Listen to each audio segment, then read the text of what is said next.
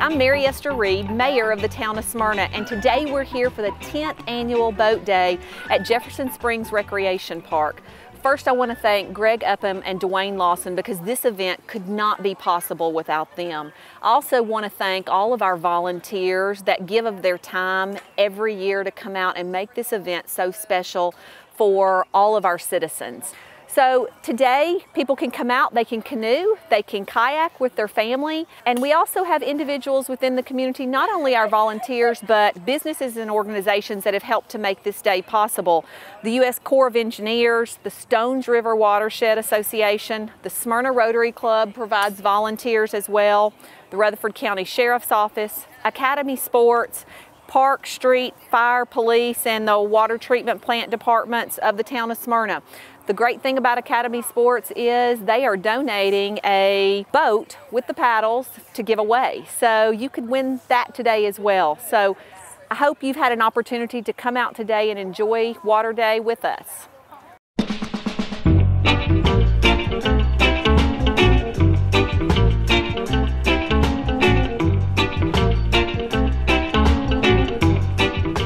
Just out here with the citizens of Smyrna, Rutherford County, and Middle Tennessee coming out to learn how to paddle either kayak or canoe, and as well as learn about water quality, what the importance of water quality is.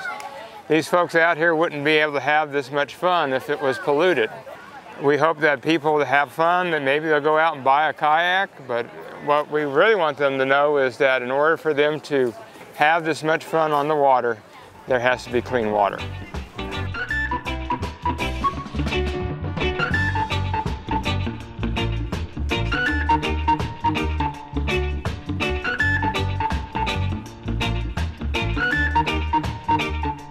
My name is Courtney Morgan and I am here representing the Smyrna Outdoor Adventure Center, which is the new outdoor adventure center that we have open here in Smyrna, where the event center is located. We have had lots of publicity and lots of attendance that are at the center, especially with the opening of Splash Town, our new renovated pool area. So you'll have to come and check us out there. But today we are here with a few of our program specialists and we are participating uh, in the education portion of Boat Day. This is the 10th annual Boat Day that we have here in Smyrna and uh, we're having lots of fun. With me, I have a couple tools that if you are doing water quality measurements, all right, this would be good for the classroom, this is good for just uh, general knowledge, and especially for scientists who might be uh, raising fish or different species, they have a lot of money invested in it. They want to make sure where they are releasing that animal is a healthy environment. So we're looking at a few parameters here today with the kids. This is just a basic, uh, basic testing kit that we have from the the World Water Monitoring Challenge. This is something you can get and use in the classroom. Uh, we use it at our programs. I used it at camp a couple weeks ago. And just a few tests that we look at. Uh, this is one of our indicator cards here. We look at dissolved oxygen, uh, which is how much oxygen is in the water. Uh, it's very important for large animals like sturgeon and trout to have a lot of oxygen in the water. We look at pH, uh, which is how basic or acidic the water is, and then also turbidity, which is how dirty, cloudy the water is. So this ties in with an activity that we were doing earlier that had to do with hands-on, um, seeing how the water moves across the land, if there are pesticides, if there are uh, chemicals on land, and how they wash into the water, that would show up on some of these tests. So also taking temperature. So we're all familiar with the thermometer. That is one thing that we use. But also we use a pH here. So this is one of the tests I just threw together real fast. This has to do with how acidic or basic the water is. And as you can see, my test here, I took the water sample just right out here um, at Jefferson Pike.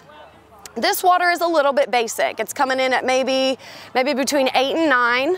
Um, this is a little bit basic water, so that's, I mean, that's pretty good. Most animals like to live in a neutral environment to basic environment. So this is pretty healthy water if we're just looking at the pH parameter.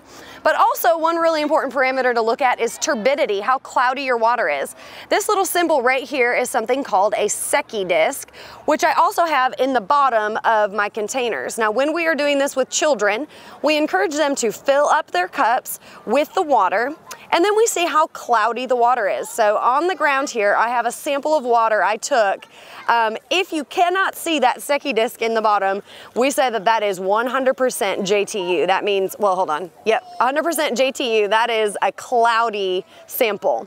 If you can see the Secchi disc completely, we said that's zero JTU.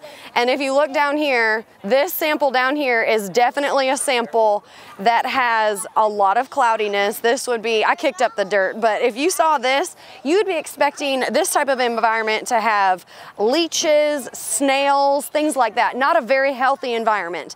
But if your turbidity did not have a lot of soil erosion and you had zero JTU on your turbidity, that would indicate a higher quality stream. You would be finding dragonfly nymphs, you'd be finding things like that. So today our education component, um, that is something we'll be talking about here at the tent. Uh, come out and see us. We also have one of our turtles on display, uh, Thea. She is our red-eared slider. You can also see her at the Smyrna Outdoor Adventure Center if you come to visit. So thanks so much for having me. We're having lots of fun.